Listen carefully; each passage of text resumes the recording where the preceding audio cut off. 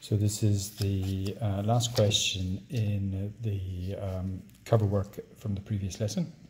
And this question asks, use the following data to show the stability of benzene relative to the hypothetical cyclohexa 135 triene. So um, this word can be broken into parts. We've got cyclo, meaning it's in a circle. Hexa, so we've got six carbons. It's an in, like an alkene, so it's got a compound that's got double bonds. How many double bonds? Well, it's triene, so that means it's got three double bonds. And those double bonds are in positions 1, 3 and 5. So this is the diagram showing us this hypothetical molecule. And remember, this is what was originally proposed for the structure of benzene.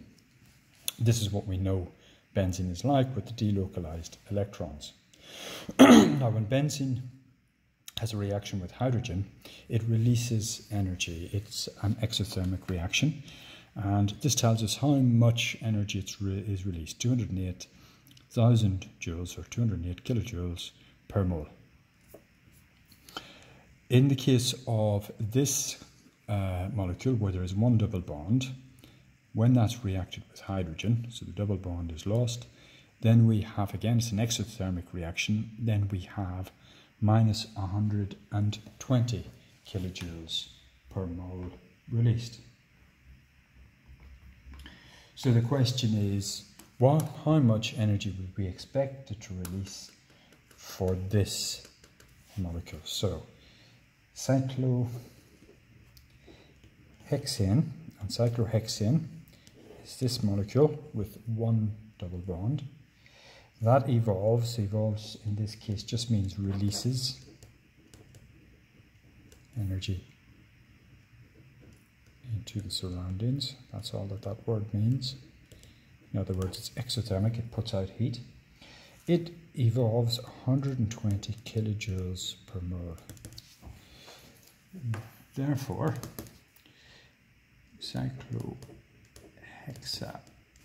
1, 3, 5 triene would release or would evolve 3 times 120 to give me 360 kilojoules per mole.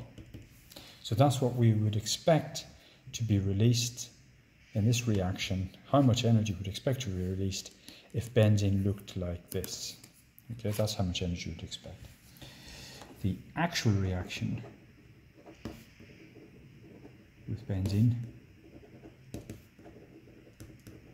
only releases 208 kilojoules per mole. So we can say a difference of, if I do 360, take away 208, 152 kilojoules per mole. That's how much so rather than giving us our 360 kilojoules per mole, which is what we expect, with this structure, it only releases 208 kilojoules per mole, a difference of 152. What does that mean? Well, that means benzene is more stable than um, cyclohexa 135 triene. Why is it more stable? If you think about, if I've got something that's very unstable, a compound that's in effect, for example, explosive, very unstable, it will react and give out a lot of heat. We see that the benzene gives us out less heat than we were expecting. So benzene must be more stable, that is, reacts less than this one, which is the cyclohexane 135 uh, triene. So the benzene must be more stable. Why is it more stable? It is more stable because of the delocalization of electrons. Rather than having the three double bonds, we have this delocalization of electrons in the benzene. That makes it more stable. Okay, so that was four marks.